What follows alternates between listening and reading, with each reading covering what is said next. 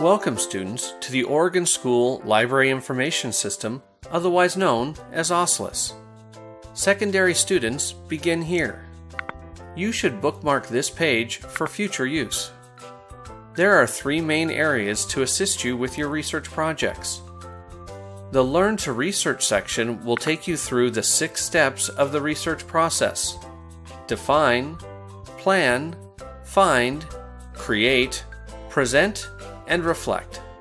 Each step has a helpful video with more information. The second section of OSLIS is Find Information.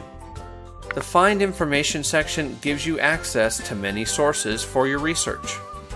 These resources include databases, which are a collection of articles, ebooks, and images from newspapers, magazines, journals, reference books, and more.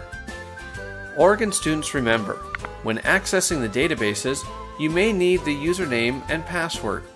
Ask your teacher or librarian for the login information.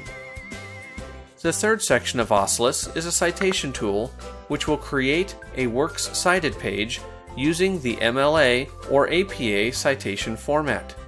Choose which style of citations you need. Then choose your source type. Type in the information from your source paying attention to spelling and capitalization.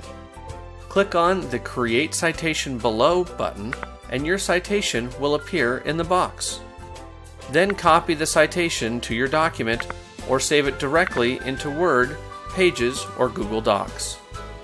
Information is just a click away when you use OSLIS. Learn to research, research to learn.